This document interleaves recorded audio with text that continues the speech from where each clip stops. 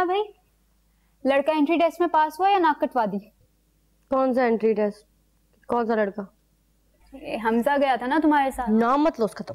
क्या हुआ है? सब खैरियत? इतना गुस्सा? ये गुस्सा तो कुछ भी नहीं है। मैं दिल चाह रहा है उसको ना मैं गर्दन मरोड़ दूँ उसकी बे-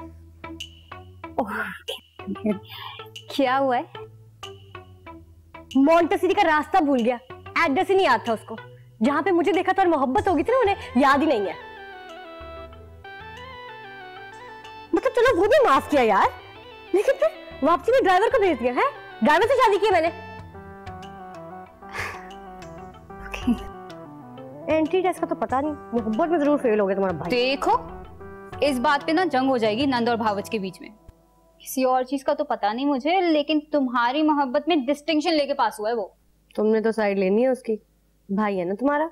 हाँ तो लूँगी साइड क्योंकि मुझे पता है तुम्हें हासिल करने के लिए क्या क्या किया उसने। क्या?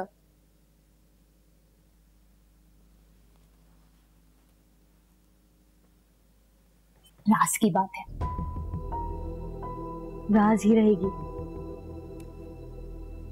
मामा का प्रेशर बढ़ता जा रहा था अलिशा से शादी करने के लिए। लड़के का दिन, तुम पर आ गया था। तो बस, बात मनवाने के लिए मार दी गाड़ी। मामा को नहीं यार, दीवार पर। पूरे दस दिन अनकॉन्शियस रहा। और उसके बाद बीस दिन बिल्कुल खामोश। और पता है जब बोला तो पहली बात क्या बोली इसने क्या?